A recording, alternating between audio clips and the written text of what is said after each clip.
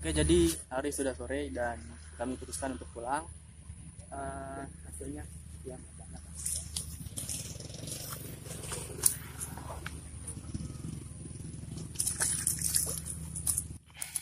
Kita pakai umpan udang tadi hasilnya segini ukurannya enggak. Ini enggak apa-apa lah daripada enggak dapat sama sekali. Ya enggak bro. Ini yang paling gede cuman ini.